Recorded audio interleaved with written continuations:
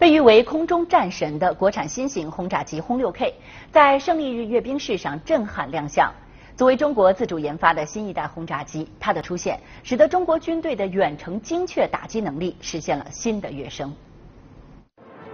随着轰炸机梯队以三个三机蝎队呼啸而来，国产新型轰炸机轰六 K 在世人面前揭开面纱。轰六 K 是中远程轰炸机，是重要的空基远程打击力量，可发射国产长剑十空射巡航导弹，具备远距离奔袭、大区域巡逻、防区外打击能力，是空军向战略空军转型的标志性装备，被誉为战神。今年以来，中国空军已组织轰六 K 战神多次穿越第一岛链。九月三号之前，轰六 K 轰炸机梯队一直在华北某机场进行飞行训练。接到塔台的起飞指令后，十多架国产新型轰炸机相继升空，到达集合空域后，快速组成数个楔形受阅编队，开始了阅兵编队飞行训练。十幺两、十幺三，现在气流比较大，颠簸明显，保持疏开队形。明白，十幺两。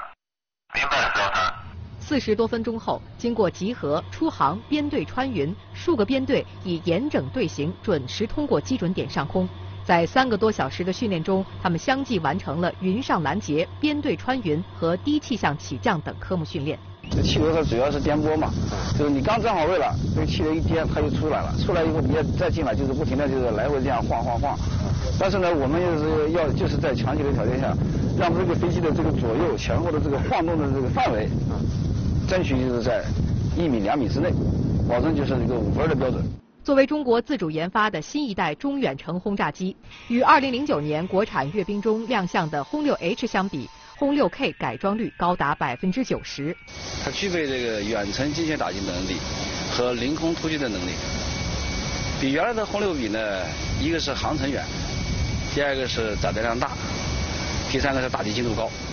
改进后的新型轰炸机，机上成员人数减少了一半。飞行员不仅要驾驶操纵，还要负责通信联络、空中态势判断和武器操控。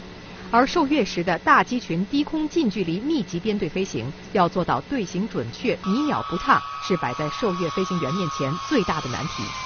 这次我们轰炸机梯队是以三机编队，也就是一个品质队形，然后总共有三个品质队形，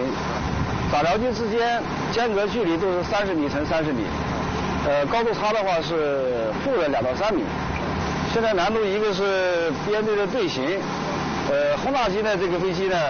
应该说飞编队相对来说比较困难一些。一个呢是这个飞机呢重量大，也就惯性大，呃，不太容易操纵。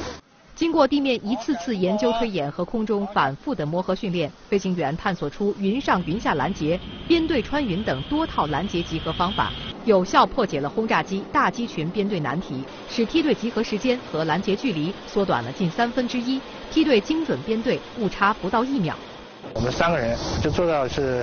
呃，每个动作都明确，每个数据你们都明确，就是真正就是达到了一种，呃，三个人像一个人这种思维方式，呃，做每个动作之前就是心有灵犀的一种这种状态，尽量是我们三个人合成一个人，然后一个人合和飞机合成一件，就变成人机合一那种，达到那种境界。